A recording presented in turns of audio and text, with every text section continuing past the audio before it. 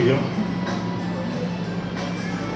그래서 뭐 컴퓨터가 발달이 되고 제가 처음 일러스트나 그림책 할 때하고는 그림책을 만드는 이렇게 방법? 이런 과정들도 많이 달라진 것 같고 하는데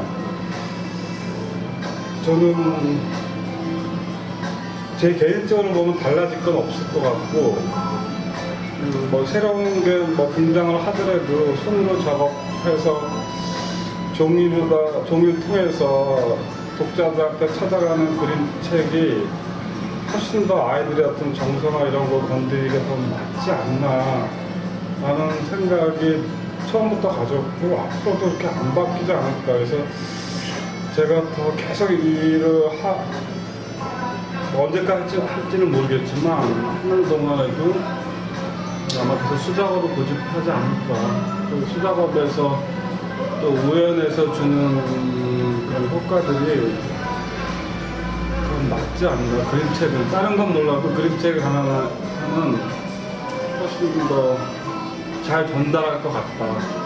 또 손으로 작업하는 것들이. 못 버릴 것 같다는 생각이 들어요.